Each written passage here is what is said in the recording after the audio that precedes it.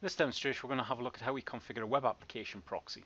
Web application proxy would normally be sitting in our DMZ or perimeter network and what we would do is we will publish whatever website it is that we have sitting on our internal network to external users. The advantage of doing this is it gives us a level of security as users, worst possible case, would possibly crash the web application proxy. So in order for this to work correctly, the first thing we have to do is one of the requirements is Active Directory Federation services.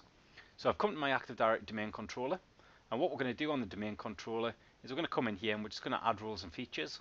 And the roles and features we're going to add is we're going to add the Active Directory Federation services. So the, before we begin, we've selected Next. On the installation type, we're going to go for role-based or feature-based installation. Server selection will be LON-DC1.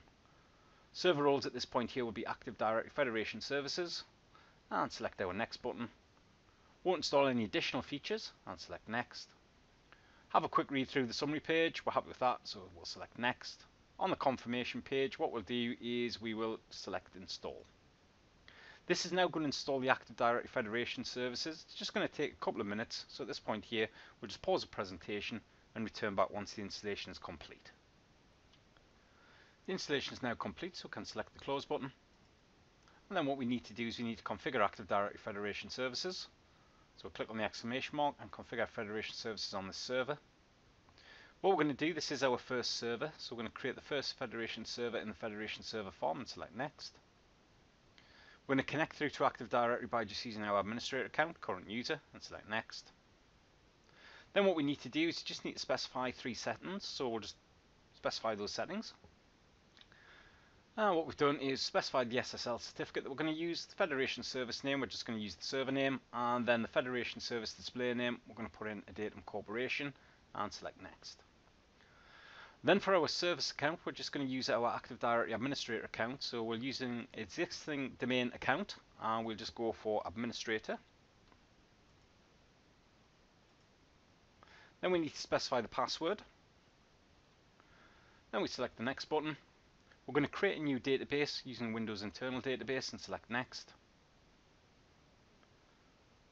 This will then take us through to review options. Happy with the options that are in place, so we'll select our Next button.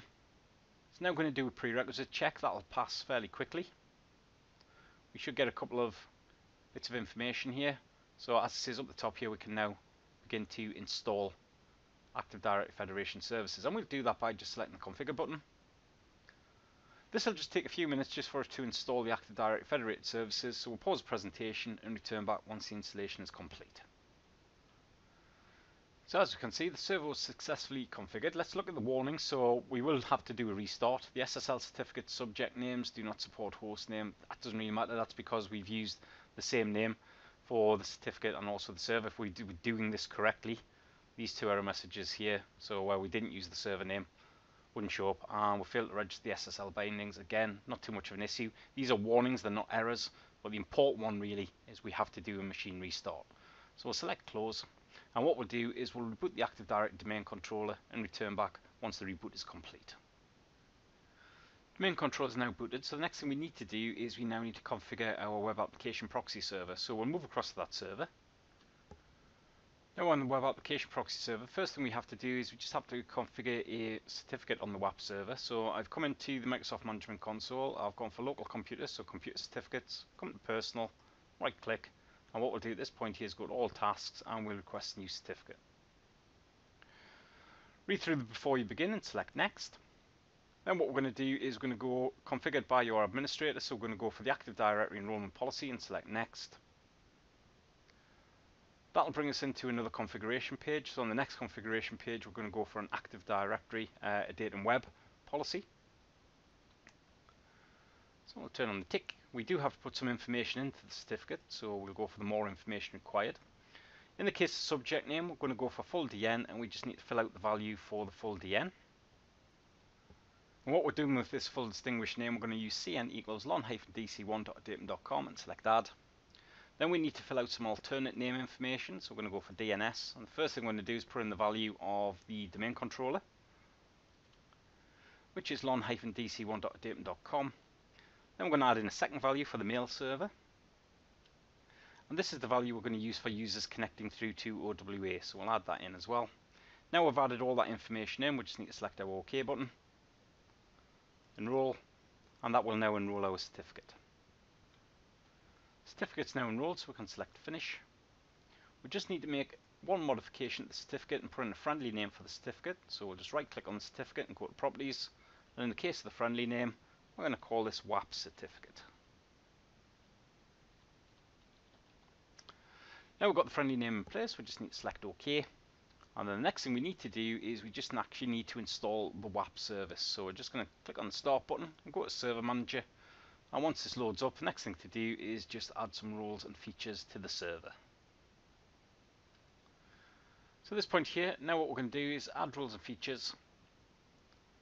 That's going to bring us into the wizard to add roles and features. So we'll go next on the before you begin. Installation type will be role based or feature based. Server selection will be this server, LonServe1. In the case of the server roles, what we're going to do is come down to our remote settings and we're going to add in the remote role. On the list, we'll just go for remote access. And then what we'll do is select the next button. Case the features, we won't add any additional features. Read through the summary page, select next. We'll go for web application proxy. Add in the additional utilities for managing web application proxy and select next.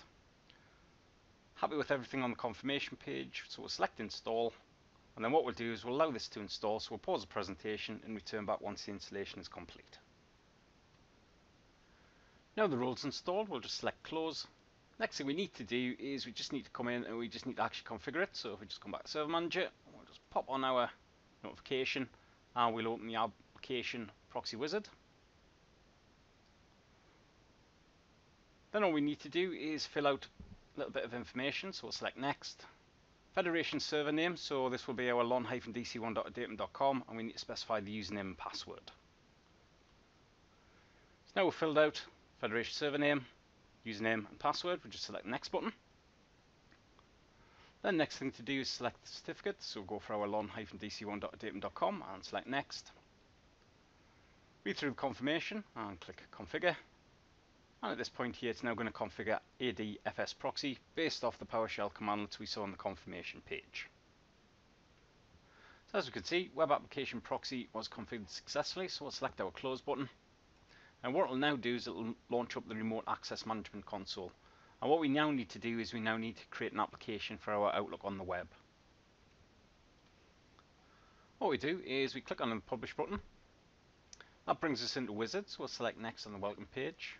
In the case of our pre-authentication, we're just going to use pass-through. So we'll do no pre-authentication from the web application proxy server and select next. On the publishing settings, we just need to fill out three bits of information. So we're going to call this Outlook on the web. External URL will be https colon forward slash forward slash mail.adatum.com forward slash owa forward slash, and this is required. And then backend server https colon forward slash forward slash lon-ex1.adatum.com forward slash owa forward slash, and again, this is required. Last bit of information is we just need to specify our certificate. So all we'll do is we'll click on the drop down and we'll go for our lon-dc1.adatum.com certificate, select the next button, read through the confirmation.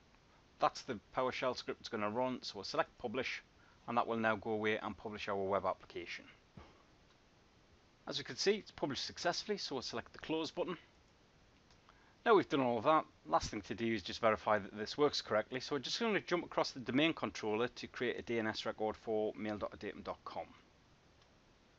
So now our DNS server, we're just going to come to our forward lookup zones. We're just going to go for adatum.com. We'll right click at this point here. We'll create a new host record. We're going to call this mail, mail.adatum.com. And the IP address we're going to use will be 172.16.0. On this point here, 12. We'll add that as a host. Click OK. We're done there now, so I'll just minimize this down. So if we just jump back to the web application proxy server, uh, what we can see at this point here, we can see that, if we just escape out of this, we can actually see that we have got this set up as 172.16.0.12.